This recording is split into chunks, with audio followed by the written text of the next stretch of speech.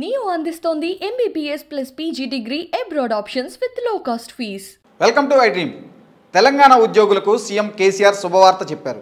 త్వరలోనే వేతన సవరణ కమిషన్తో పాటు మధ్యంతర భృతిని కూడా ఇస్తామని తెలిపారు.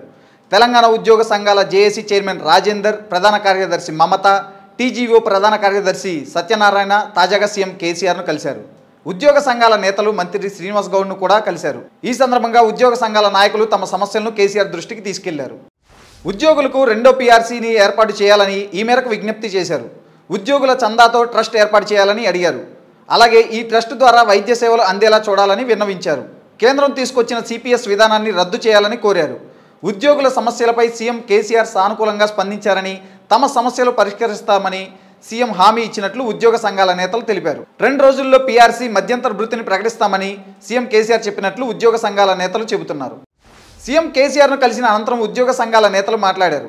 తమ సమస్యలను సీఎం దృష్టికి తీసుకెళ్ళినట్లు చెప్పారు.